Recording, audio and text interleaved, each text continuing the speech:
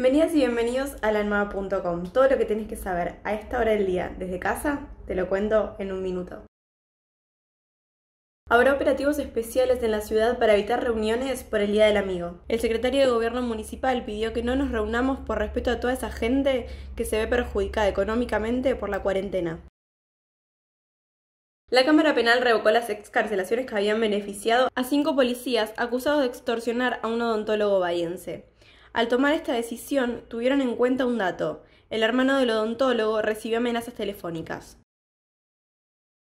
Bahía Blanca sumó 12 nuevos casos de COVID-19 y superó la barrera de los 300. 189 personas tienen el virus activo, 105 se recuperaron y 9 fallecieron.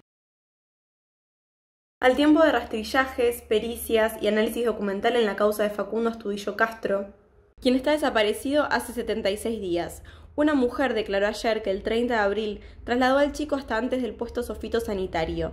Hoy está previsto el testimonio de los tres jóvenes que aseguran haberlo visto junto a un patrullero cerca de Buratovich. Hay acuerdo para las pymes afectadas por la pandemia para que no paguen tres tasas municipales en Bahía Blanca. La iniciativa presentada por el oficialismo se tratará mañana en el Consejo Deliberante. Por el bien de todos y todas, quédate en casa. Todas estas noticias que te conté y muchas más las puedes encontrar en la nueva.com.